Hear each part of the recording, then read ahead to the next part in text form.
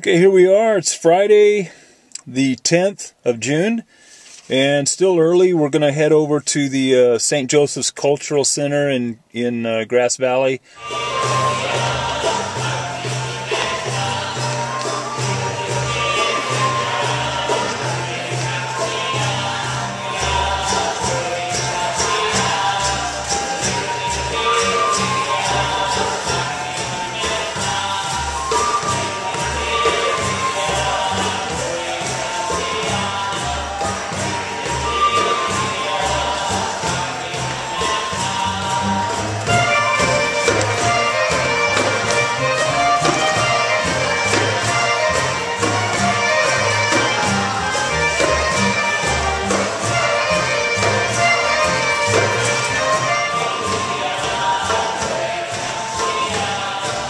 All right, that looks fun.